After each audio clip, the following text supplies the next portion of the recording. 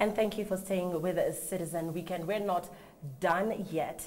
Tonight in studio, I get up close and personal to a gentleman who has won the hearts of many in East Africa and indeed beyond. That is Dr. Mich Egwang. He's live in studio with me tonight. We get to know more about this guy on our screens here on Citizen TV. Definitely an interview you want to stay tuned for. But let's take a look at what Mich does back home in Uganda, Kampala, before we get to speak to him.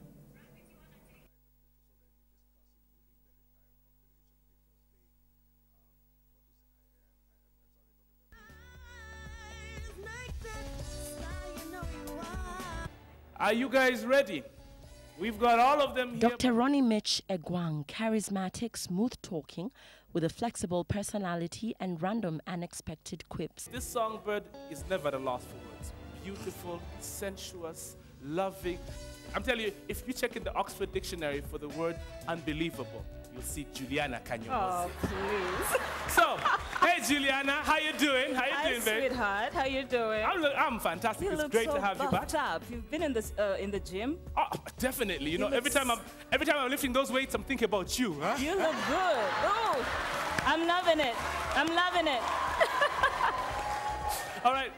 Viewers know Mich for his witty side, and year after year, the husband and father of two has continued to grace your television screens on Tusker Project Fame. Away from TPF, Uganda is home to Mich.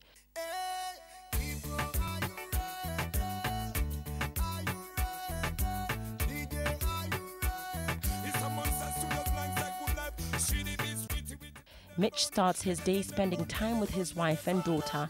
He tells me he enjoys watching cartoons with his two year old daughter, after which he drives to work. is that so? No, no. He is a business owner running a marketing and concept developing company called Eclipse. Mich spends most of his day at the office, where, among other issues, he and his team come up with event concepts, marketing strategies, and business solutions for corporates in Uganda and indeed Africa and beyond.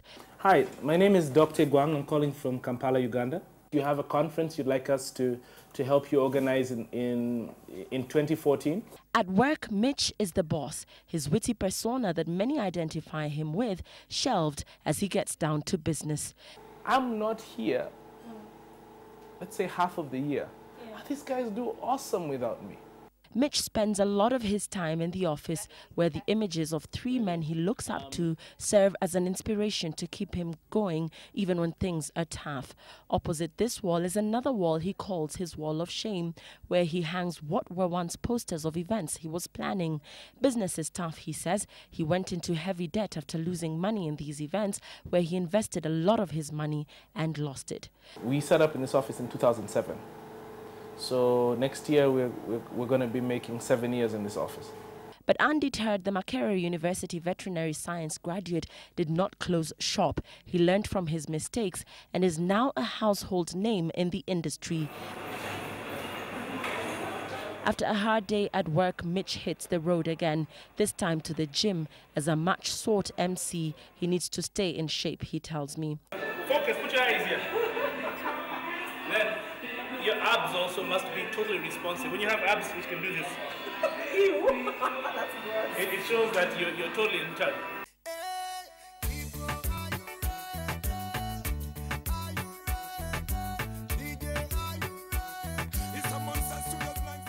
He is a household name in Uganda, where the ladies particularly find his easygoing nature quite flattering, as is evident in this lady's reaction. That's my sweetheart. I love her. She does the best massages here. Huh? Hey, citizen, you know, you know, East Africa. Hey, smiling. And this is your chance. huh? A lot of people say that, oh, I'm unfair, I keep punching and never give you a chance to, to respond. Express yourself, Ian. East Africa, pray for Mich. right, Dr. Ronnie Mich Egwang says what you see on TV is who he really is outgoing, friendly, and witty. But together with that is an astute businessman whose services are currently on high demand globally as he traverses continents doing what he does best events. Is he laughing all the way to the bank? I ask. Let's just say that, that, that I'm very comfortable. I'm, I'm looking at retiring in the next two years. Wow.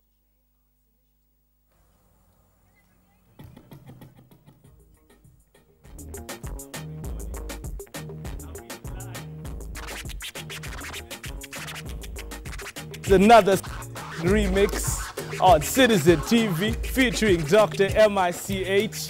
What's up? Ah, yeah. I'm chilling on the Jua on a Friday eve. I'm holding the mic, you might think I'm Steve. Let me educate you. My name is Dr. Mich, so sit back, relax, and don't you snitch.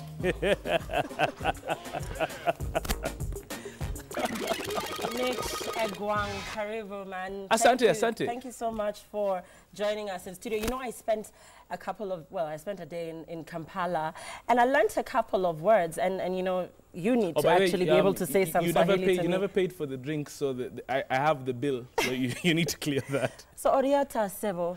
Jendi nyabo, Wow, okay. Oliotia nyabo. Okay, let's just stop there. so you're from Uganda. Yes, I am. Can you speak any Swahili? I know you Najua kidogo. unajua kidogo. Yes. I, Okay. ca- I can say all, all the important words. Nakupenda, nataka pesa. So all the other, all, the, the, the critical things. So tell us about your upbringing. Where did you grow up?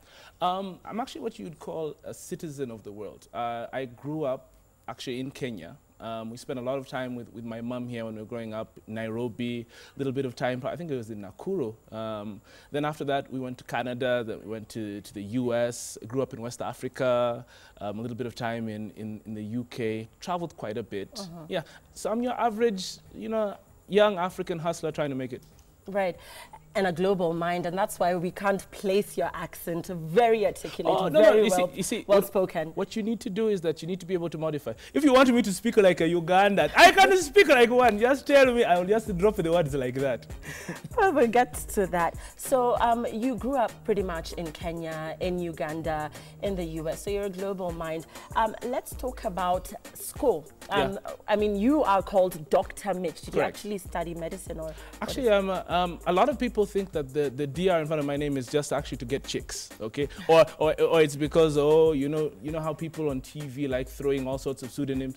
I actually spent six grueling years at vet school in uh-huh. Uganda. Uh-huh. So I'm a veterinary doctor. And Where I'm, in Uganda? I'm Makerere University. I'm, a, mm. I'm a canine specialist. So if you've got dogs that you, that you have issues with, throw them my way. Why a canine specialist? Why not cows or? You see, you know? you have to be honest. You know, here in Africa, we have this mindset. You know, when your animals fall sick, a lot of guys would say, we'd rather eat it than treat it. Yeah. You see, but the good thing is that you can't eat your dog. I'm hoping not. Yeah. Yeah. Well, so you don't practice? Do you practice? I do practice, but I'm telling you, the, demands that I have now make it quite difficult for me. I, I had a very, you know, small niche group of, of people whose dogs I do treat. Yeah. So totally different career path. Yeah. Um, you know, I spend a bit of time with you in your office. Yeah. You're big on marketing, big on events. How did this come about? Um, well, I, I think it was it was actually probably God leading me on a certain path because by the time I was in third year, I got my first TV engagement and I got my first radio engagement. And I started working with different companies. And I felt that was my passion. Uh-huh. And I think it's, a, it's, it's an important thing for, for, for parents and even for, for guardians to give proper, you know, career guidance. Because Right. a lot of times they say, oh, you know, you got to be a doctor, you got to be a, a, a, maybe a, an architect or, or, or, or maybe a banker.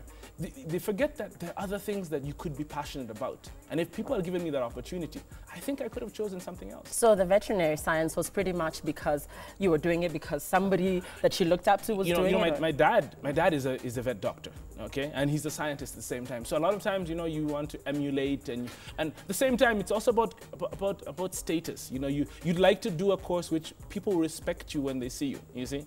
So I, think uh, I, I got the best of both worlds. Uh-huh. Uh, I got the education, at the same time, I got the glitz. Right. Yeah. So, I mean, we see you on our TV screens, and the first time I saw you uh, was you- on you like? Deal. well, you were presentable, good presenter. I thought you had Um, the skills, yes. I, I don't want you to lie. I've looked at videos of myself on Deal or No Deal, and I was skinny. It's looked as it looked as if I was malnourished, as if as if the world had not yet started spinning. So that was your debut on TV, Deal or No Deal in South Actually, Africa. actually, it wasn't. Actually, it wasn't. I did a TV show in, in 1998. It's called SQ98. It was um, it was a Ugandan thing. Okay. Um, but after that, I, I never actually thought of myself as being somebody who was cut out for TV. In fact, I, I'd worked on radio for nine years. I worked on, f- um, I think, three different radio stations in Uganda. in Uganda. I worked at Sanyu FM, it's the oldest radio station in Uganda. I worked on, on Power FM. That was my first job. It was a, um, it was a Christian and secular radio station. Then I worked at, at KFM. It's a sister station to Easy FM in, in, in, in Kenya here. So this persona, this screen persona, you know, deal or no deal, and of course transitioning from radio to TV, this just comes naturally, or is this who you are? You know, I spend a lot of time with you, and I think really who you are here Am- and who you I- are out there is do, you, do you think that I'm putting on a facade? Do I look like a, because a lot of people do that. You know, they, they, on TV, you try to be someone else. Then when you go out, you're conservative, you, you, you hold back. Let me tell you something, challenge me. Meet me on the streets, whatever road it is, Moi Avenue, whether it's Waiyaki Way, stop me and say, Mich, hey, what's up? Mambo, are you fit? What? And trust me, we will converse as if we've met and we've known each other for years. So yeah, a lot of people would imagine then this easygoing guy with That quick tips. Not that you're stuck up, but that perhaps you might be a bit of a party animal. Are you one? Party animal. Yeah. Actually, not. You'll be shocked. First of all, um, people don't believe it, but I don't drink at all. The madness that you see here is innate. It's in my DNA. so it, it, it's, it's not Dutch courage at all. And I, I think I've had a very astute upbringing. You know, my, my mom was, was, was, actually really, really tight, and she used to make sure that, hey, we head in on the straight and the narrow. Right. And, and then again, also, you know, being responsible is something which, which um, over time, being the eldest in my family is, is something that I, that I had to, I, I had to adopt. Yeah. And talking about being responsible, tell us about your family. You know, is there a lady in your life, children, Um, family? Yeah, I'm just wearing this ring to chase away all the hordes of, of, of, of No, ladies who are looking for my number. sometimes. Is that so? Yeah. Oh, it's not bad. I'll, I'll wear three rings next time. No, no, I've been married since um, 2006. I've got a beautiful daughter called Michelle, named after me, of course. And um, she's, she's two and a half now. And, um, well, I, I think it, I think it's good. You know what happens is that sometimes you need to get grounded a bit. You know, um, when you're in the media, um, opportunities fly so much uh, your way, and then, then sometimes you can get lost. And sometimes you need things to, to, to ground you back. So, family is one thing, and I think it's very important So it keeps you grounded. keeps you grounded. And I think also setting up my own business is another thing because minus my family at home, I have a family also at Eclipse because those are the people whom I've got to take care of. Every single month I'm thinking, so I've got 32 people who keep looking up to me and saying, ah, boss, where's the salary? So you've got 32 employees, and I, and I chatted with some of them, and they, they What- said, what- you know, you're an what did they say- amazing What did they say? Oh, They said you're an amazing boss. Okay, You take okay. good care of them. But then again, what else would you say about your boss, right? Um, let's go to Tusker Project fame, Yes. and, and you know, you having to come in after Gaetano, you know, Yeah. and sort of, you know, be under the spotlight in that way. You know, are you going to match up? Are you going to, um, you know, be able to fit into those shoes? But then Yeah. again, you know, you did pretty well, and Uh, Kenya just, just a and quick East question. Africa How much longer do we have for the interview? let's let's let's keep talking. It's interesting. As No, long I, as I just want to find out. I'm just, I'm, trying to, I'm just trying to, to, plan my. We have some time. Could okay. Uh-huh. Um, I, I think um, the challenge was it was uncharted territory, and with every new opportunity that you're given, you start on a blank slate. I tell you the truth, people hated my guts. They were saying, "Who the heck is that black Jama who comes here thinking that he can?" He can, can take over and, and start doing a show that, that has been there for three seasons, and, and what does he think? Now, you see, what you do is that when you have people who are giving you that much resistance, you use that resistance. Because you see, it's, it's energy, so turn that energy into positivity. So I took it. And And and, not, and and on that, um, I know some presenters, uh, you know, have been discouraged, and you know, social media can be quite harsh, and you know, sometimes some of the comments that people throw your way, some of the things that people say, can take you aback a bit, and you're like, wait a minute, is this what I really want to do? Have you ever been there? I, I, I, think, I think the advantage that I have is that before I did TV, I'd done a lot of emceeing. I think till date, I'm, I'm bordering on probably 1,900 different events that I've done since way back in 1990. You name it, all sorts of events from corporate to concerts and the rest. And I now have to deal with audiences. Now, audiences sometimes can, can be very, let's say, apathetic. They can be unapologetically aggressive. And what you have to do is that you have to learn how to take that negative energy and throw it back at them. And I love people challenging me. And that's how that's actually how I, how I warm up the audience. Um, I, I hear you're going to come and watch our show over the weekend. Is that true? Is that I true? will. I will. Make, I will I'm- make my way there. I'm giving you I- VIP seats, uh-huh. and you're going to see exactly that's what's going to happen. You're going to have people in the audience who are going to heckle you, and I love hecklers. Those are the guys I single out because everybody has this, you know, this mob mentality. But you find one person squeeze. Yeah, especially the ladies.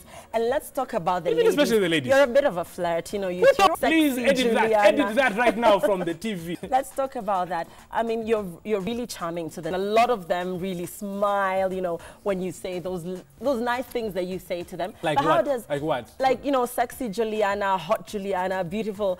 Um, So you're saying one you- of the you think Juliana's ugly? Juliana is very Okay, stunning. right, she's yeah. stunning. She's you know she's breathtakingly Yeah. beautiful. But let's talk about how the lady at home takes that. Let me tell you something. Yeah?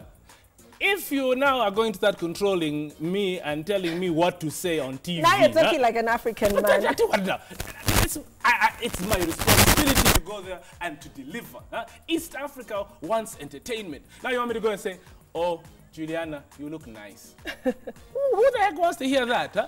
Me, when I tell Juliana that she looks like a sweating glass of water in the desert, uh, you know, the image is already building in people's minds, and that's what people want to hear. Huh? So you most, tell them Your most embarrassing moments on the show. Have you had any awkward moments? on, on Tusker. Yeah. Ah, yeah, yeah, yeah. Yes, yes. I, I think it was um, last season. You know, the social media thing, y- you can, I, I think sometimes my mouth moves faster than my brain does. And I, I like trying to come up with, with, with new terminologies. So I was coming up, you know, people have words like, like my tweeps, um, my, my, whatever you call them. I try to come up with mine not knowing that the word had another significance. So as soon as the show ended, man, social media went wild. Can you imagine? Mich just called us a beep, and and it went on. Imagine even we went up to, to my bosses in EABL, they were saying, that young man's mouth is, is, is, is a risk. It's out of control." We, we must sit down and it. So, um, I, I, So I you've got into a bit of trouble. yeah. I did. But then again, you see, trailblazers always get into trouble. You see, if you sit in the class and in the back, nobody will pay attention to you. That's good, and I hope somebody took note of that. Your beef with Ian, is that for real or is just that Ah, for ratings? Ours not even beef. Ours is bigger than beef. Ours is beef. It is, it is, it is poultry. It is, it is. You name it. Every single thing. But I think sometimes, you know what happens? Do you know how much, how much? I, I think courage it takes to first of all audition for Tusker Project fame. Uh-huh. Then after that, step on the stage. Then after that, learn a song which you probably never heard before and go out there and belt it out to over 20 million people in East Africa. Then somebody says, you are okay. However, and uh, what the heck are you saying? This you should you should first of all start by saying fantastic rendition, nice stuff, but the areas you need to improve are A, B, and C. But you know, in life we need criticism, and that is how we grow. But how you bring it out is an important thing. So if he's being abrasive, let me abrase him too. So are you smiling all the way to the bank with TPF? I mean, we hear you get this A treatment, limousine rides, you know, presidential suites, bodyguards. Really, Mich? You're not um, as down to earth as you're trying to No, no, no, let me tell you what. I am down to earth. But mm-hmm. but let me tell you something, huh?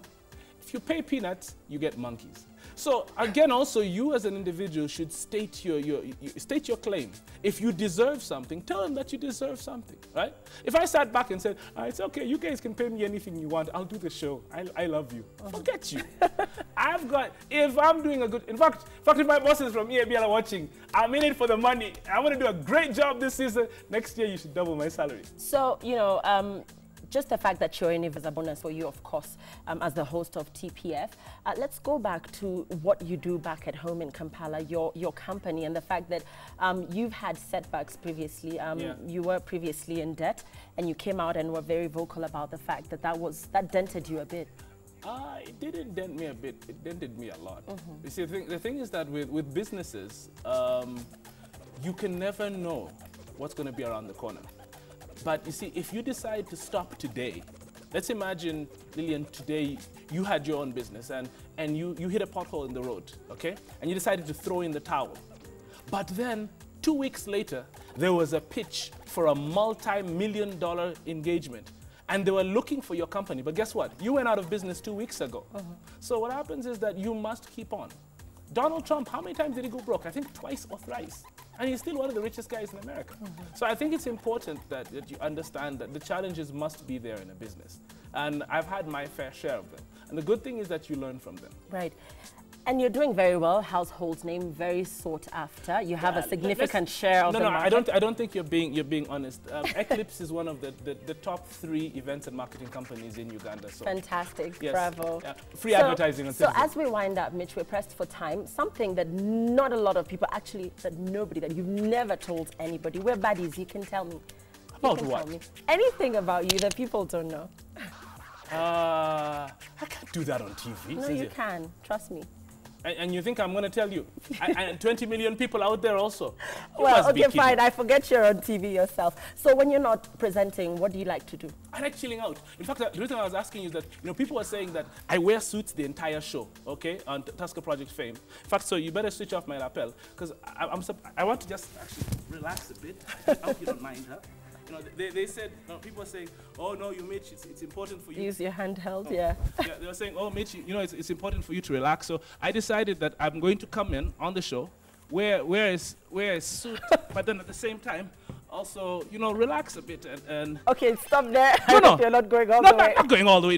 Just that I had to. No, check this out. Huh? Mm. So, this is this is this is how I relax over the week. Mm? Oh yeah. Ah.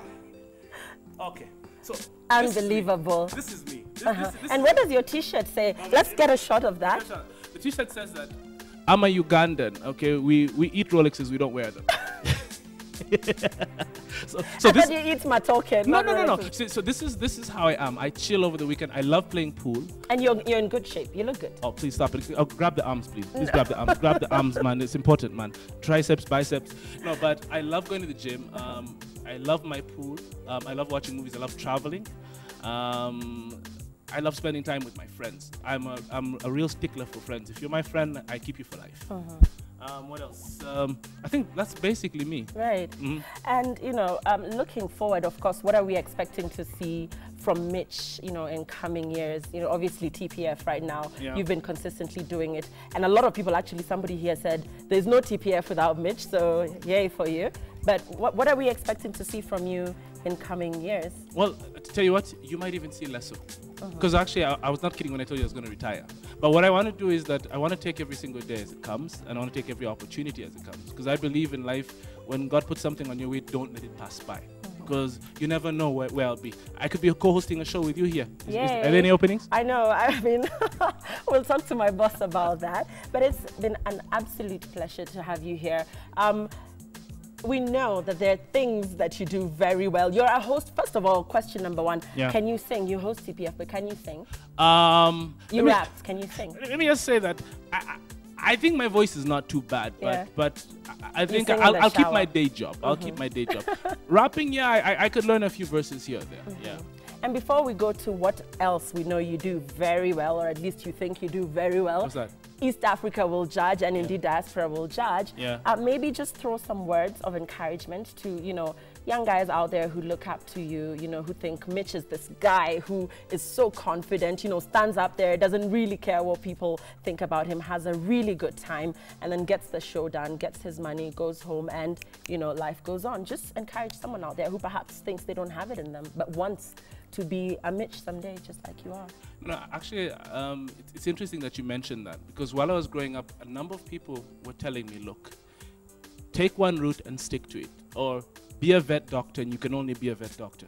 But that's not the right thing to tell your kids. What you should do is that tell your kids to explore opportunities and absorb every single skill that you can. If it's a language, learn a language. If it is a if it's dancing, learn how to dance. If it is learning how to, to do public speaking, do that. If it's studying, study as many things as you can because who knows what is going to be able to help you. The fact that I speak French, the fact that I'm a doctor, and the fact that I can do public speaking has opened up so many doors for me. So my advice to you is that take take my principle. Life is like an apple on a tree. If you're taking a, a journey somewhere, reach out and grab it. Don't say I'll come and pick it up because guess what? Lillian could be walking behind and she'll grab that apple and take a bite out of it. Row, row. See? well, it's been an absolute pleasure spending time with you, Mich. And, you know, just talking to you, I've learned Uh, so am, I, am I getting a copy of this this DVD? You will. Oh, fantastic. And really, some of these things you can ask me after the show. Oh, okay, okay sorry, sorry. Uh-huh. So yeah, it's been great um, getting to know you. Really easygoing person. I think really humble despite your success. Thank you. You know, you've done really well for yourself. You've done East Africa proud. We've embraced you in Kenya. Embrace us in Kampala. You know, we hope when we I come there you, we'll East get. Africa. Yeah. Je vous aime tous. Um, Anamaru Wood Dutch. That, that's that's Luo. Oh, you're low, by the Yeah, way. yeah, yeah. Yellow? Anamaru un Dutch. Donguna bear. Anamaru un ba. He's from the northern parts of Uganda. Yes. That's true.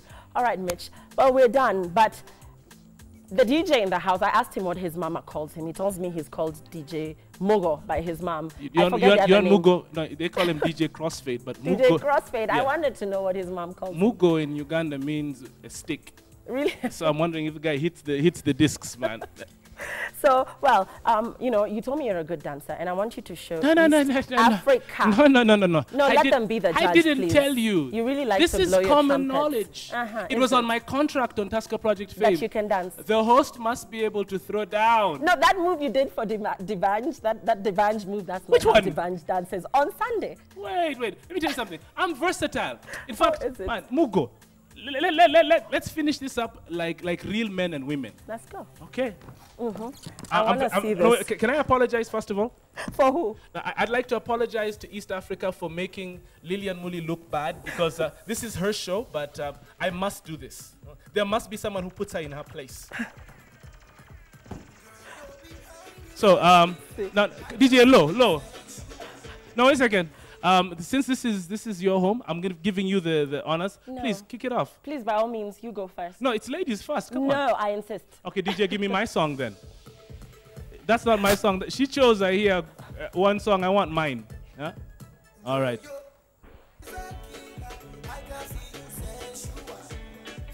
All right. So tha- that's not my song, man.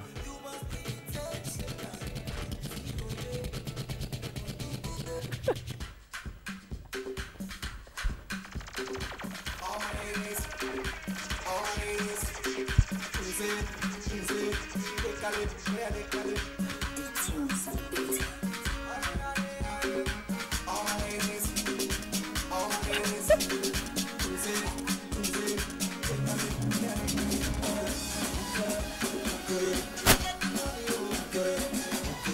um, I think you can low.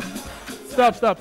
Um, I think this is the time when, Okay, when we go to the commercial, okay, right? you're good, you're can we go to the commercial? You've done, you've done well. You've done well. Congratulations.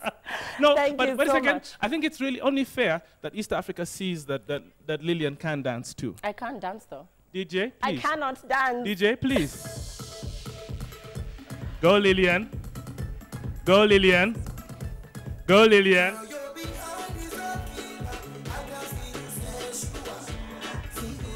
Uh huh. Uh huh. Stop, stop, stop, stop. All right, all right, all right, uh, all right. All right. Thank you Why do much. Kenyan chicks do this when they're dancing? I have no idea. You should be telling me. You should be telling me.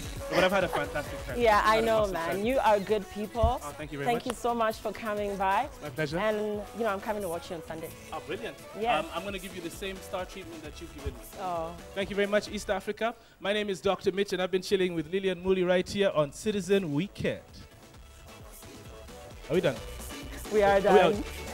Thanks for yeah. watching, guys. We'll see you tomorrow. Have a good night.